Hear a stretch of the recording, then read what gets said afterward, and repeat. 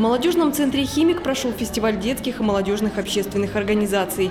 Все существующие на территории Омского региона объединения приехали в областной центр продемонстрировать свою деятельность, обменяться опытом с единомышленниками, наладить совместную работу. Мы приехали сегодня с ребятами на фестиваль в качестве гостей, потому что э, у нас ребята, которые занимаются уже на протяжении нескольких лет, сегодня участвуют в рамках другого проекта «Добровольцы детям-инвалидам». А я привезла молодых начинающих добровольцев, э, которые поучатся, посмотрят, э, чем живет вообще общественное объединение Омской области. И я так думаю, на следующий год станут участниками уже фестиваля. Такого рода слеты, это, конечно, это очень здорово. Это толкает людей на новые какие-то идеи, на новые продвижения в жизни, дает молодому человеку увидеть себя, свои перспективы в жизни, дальнейшее развитие в общественной организации и участие в различных молодежных организациях. Традиционно в программе фестиваля проходил конкурс детских и молодежных общественных объединений «Я лидер». На главной сцене выступили участники детских объединений и патриотических клубов. Они представили на суд жюри свои визитки. В отдельной аудитории в рамках конкурса прошла сама презентация лидеров молодежного общественного объединения. Конкурсанты рассказали жюри о своих проектах и даже спели о своей деятельности.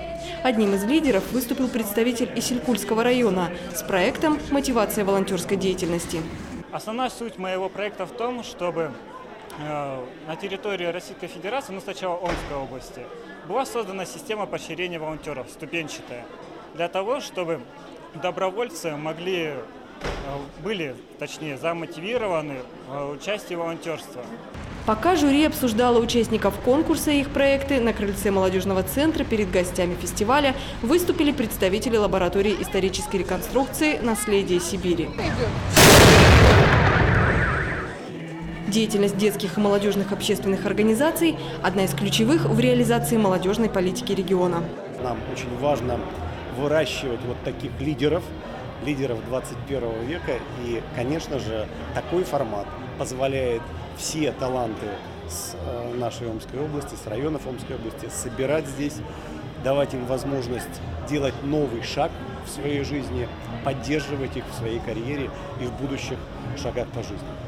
Конкурсе социально значимых реализованных проектов победителем оказалась детско-молодежная организация «Азовские ребята» с проектом «Волонтерское движение в защиту озер Омской области».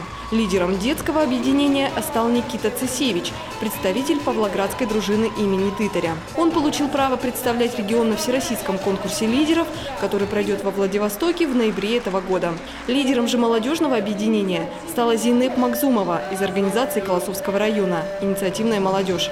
Она представит свой регион на всероссийском конкурсе «Лидер 21 века». В финале фестиваля вместе с Вячеславом Синюгиным Зинеп запустила клубок, символизирующий молодежные инициативы и идеи, которые помогают молодым талантам объединяться, развивать себя и свой регион. Почувствуйте